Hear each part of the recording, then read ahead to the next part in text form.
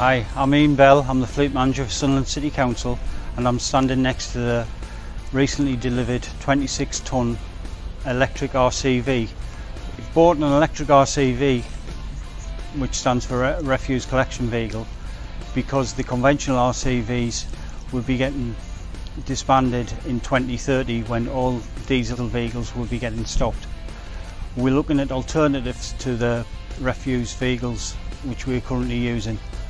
So this will be a, a trial vehicle which we'll be trialling over the next 24 months to see exactly how it compares to the existing uh, refuse collection vehicles we have on fleet.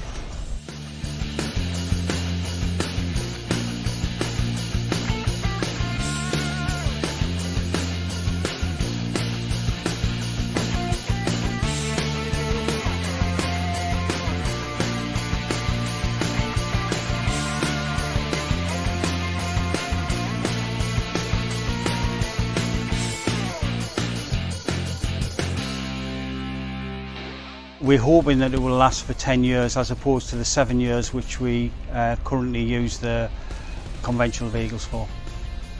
We've got 24 vehicles which we'll be buying in the near future, but initially this will be the trial vehicle to see how it stacks up against the existing vehicles. To find out exactly how it reacts in cold weather, uh, number of bins it can do, um, so the, the pilot scheme for the next two years will be to try and get down to the nitty gritty as to what it's able to do.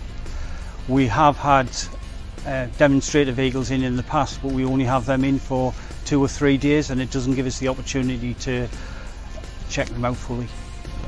As part of the Council's low carbon strategy, we are trialling lots of different electric vehicles and this is the first of the uh, refuse collection vehicles which we've, we've bought.